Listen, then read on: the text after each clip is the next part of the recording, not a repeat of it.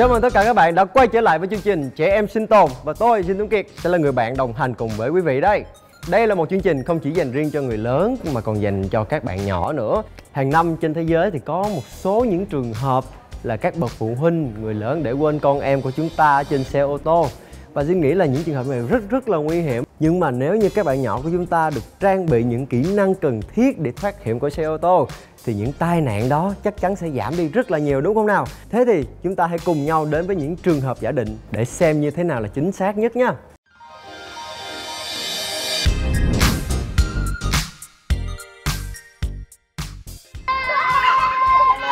chào mấy đứa à, à, rồi trời đất ơi té luôn rồi kìa đứng dậy ai da ai da ai da rồi ra rồi tụi con khỏe không?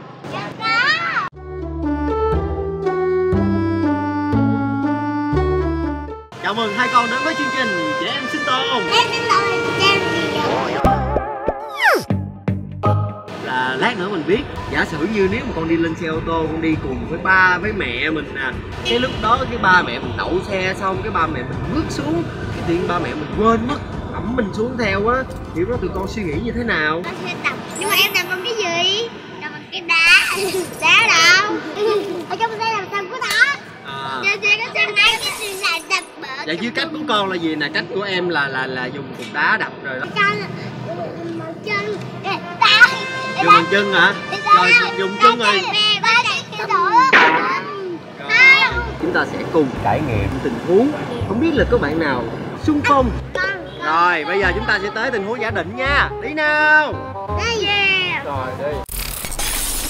Cảm ơn các anh chị đã đến đây để tham gia cũng như trải nghiệm cùng với chương trình Trẻ em sinh tồn Chúng ta lại gặp một người quen nữa Xin Chào anh chào Rồi. Kiệt. Và ngày hôm nay tiếp tục em sẽ mời tới chuyên gia Tony để có thể mà cùng chia sẻ và cho chúng ta những kiến thức phù hợp và quan trọng nhất Giả sử như có một cái trường hợp là con của anh chị vô tình bị bỏ rơi ở trên xe ô tô Anh chị sẽ trang bị những kiến thức nào cho con của mình đây là cái chủ đề mà à, bé Minh Khang rất là quan tâm.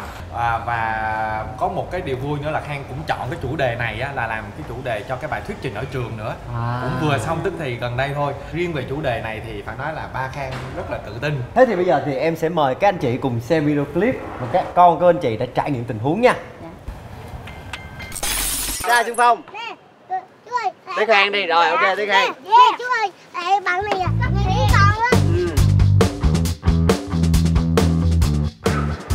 Khang cái này có vẻ là giống như là quen thuộc rồi đúng không ạ? Động tác linh hoạt. Trời bánh bánh cha rất là hợp với lại cái gu là thích tò mò khám phá của Khang là các thiết bị các Đồ điện tử đồ dùng ở trên Dạ. xe là đều là trải nghiệm cả. Hết thời gian rồi có một câu hỏi đặt cho chuyên gia Tony là khi mà các bé bị bỏ rơi trên xe như vậy cái tâm lý của các bé như thế nào thì tại sao mà các bé dễ bị tử vong ạ? Điều đầu tiên khi đứa trẻ bị nhốt trong xe là sự hoảng loạn. Điều này dễ gây ra chết người. Vấn đề của đứa trẻ khi ở trong chiếc xe đó là sự tăng nhanh của nhiệt độ trong xe. Nhiệt độ có thể tăng cao hơn 10 độ C chỉ trong vòng 10 phút. Trong ngày nắng nóng, nhiệt độ trong xe có thể lên cao tới hơn 40 độ C so với nhiệt độ ngoài trời. Khi nhiệt độ của một ngày 30 độ trong xe sẽ là 70 độ C. Và điều này dẫn đến sự mất nước nhanh chóng, đặc biệt là đối với trẻ em. Sự mất nước diễn ra ở trẻ em nhanh gấp 3 tới 5 lần so với người lớn. Nên trẻ càng nhỏ tuổi thì vấn đề này càng xảy ra nhanh hơn. Đầu tiên là sự hoảng loạn, không thể suy nghĩ cách để thoát ra ngoài được. Sau khi hoảng loạn, trẻ chỉ còn rất ít thời gian để làm điều này. Ok, thử thách lúc nãy có khó khăn hơn một chút.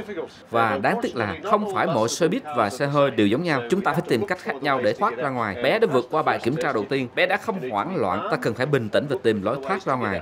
Trong lúc thử, ta phải tìm cách nào logic nhất, dễ nhất và làm trước. Nên chúng ta sẽ bắt đầu từ cánh cửa này. Rồi tìm lối ra ở các nơi trên xe Xem có tìm được lối ra nào không. Giờ chúng ta sẽ bắt đầu từ cánh cửa này. Nếu có tay cầm cơ học ở đây Thì ta có thể mở được nó luôn.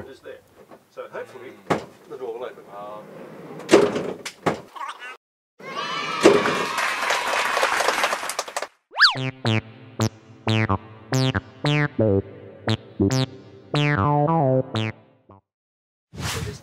hợp này tôi có một công tắc ở đây Tôi sẽ đẩy nó qua một bên và sau đó mở cửa thử và đây. Nó đã có tác dụng. Đây là những thứ mà người ta thường hay quên đi bởi vì họ hoảng hốt, hoảng loạn, họ cảm thấy rất lo lắng nhưng đúng nhất là ta phải chậm chậm lại, làm mọi thứ theo một trình tự hợp lý và hy vọng có thể thoát ra được dễ dàng. Lúc nãy bé đã làm khá tốt là bóp còi xe, cố gắng lôi kéo sự chú ý của người khác. Để làm điều này, ta cần leo qua cái ghế ở đây để tới được cái ghế ngồi đằng trước. Ta thấy ở đây có một cái đèn gọi là đèn cảnh báo nguy hiểm trên bảng điều khiển. Nó thường được ký hiệu bằng hình tam giác. Chỉ cần nhấn nút này và đèn cảnh báo sẽ bắt đầu nhấp nháy để cố gắng thu hút sự chú ý của người khác.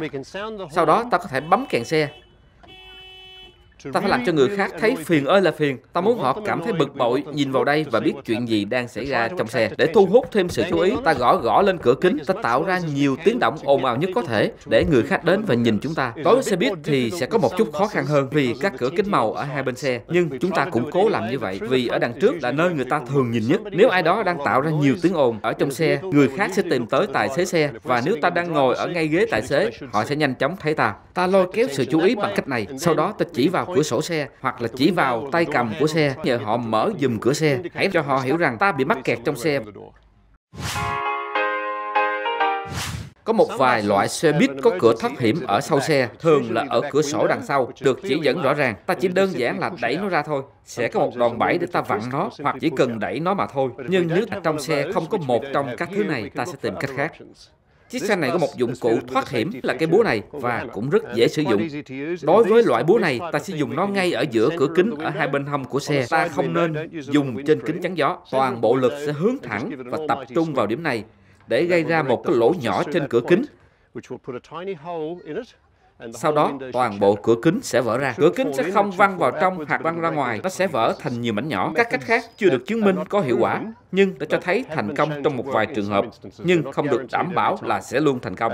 Đó là thử đá văng cửa kính ra ngoài. Để làm được việc này, ta cần nằm ngửa lưng ra sau, đá cả hai chân một cách chắc chắn và đồng thời, ta đừng nên đá vào ở giữa cửa kính nữa. Bởi vì giữa cửa kính là phần chắc chắn nhất của cửa kính. Điểm ở trên của cửa yếu hơn. Việc này không chắc chắn là thành công vì nó còn phụ thuộc vào chân bạn mạnh tới đâu, nhưng nó có thể có hiệu quả. Một cách khác mà vài người hay dùng, đã dùng và cũng có hiệu quả, đó là dùng cái đầu ghế này. Dùng cái đầu ghế ngồi ở trong xe, ta có thể tháo cái đầu ghế này ra và ta có một cái đầu nhọn ở đây. Tuy nó không được thiết kế để dành riêng cho việc này, nhưng nó cũng có thể có tác dụng giống như chiếc búa vậy. Nếu ta đập nó đủ mạnh, nhưng cũng sẽ không dễ làm giống như chiếc búa. Nhưng dùng cái này, ta vẫn có thể đập cửa và hy vọng tạo ra đủ lực để làm vỡ cửa kính. Ta cũng có thể dùng cái đầu ghế này theo cách khác, nhưng mà nó cũng không đảm bảo được rằng sẽ thành công đâu nhé. Trong phần kéo cuộn cửa kính lên ở đây, trong trường hợp này thì nằm ở phần ghế trước, ta có thể ấn mạnh nó xuống ở giữa phần cao su và cửa kính. Sau đó, ta canh ngay giữa cửa kính. Nếu như ta kéo nó về phía sau như thế này, cửa kính bị tức sẽ vỡ ra. Nó sẽ vỡ ra ngay ở giữa cửa. Các nhà sản xuất không khuyến cáo ta làm việc này, nhưng một số người đã dùng và họ thành công. Trong lúc chúng ta đã hết cách thì việc này cũng đáng để thử nhỉ? Không có sinh mạng nào mất cả. Được rồi, bây giờ ta sẽ thử lại. Cháu nghĩ cháu có làm được không? Cháu nghe được à? Tuyệt vời.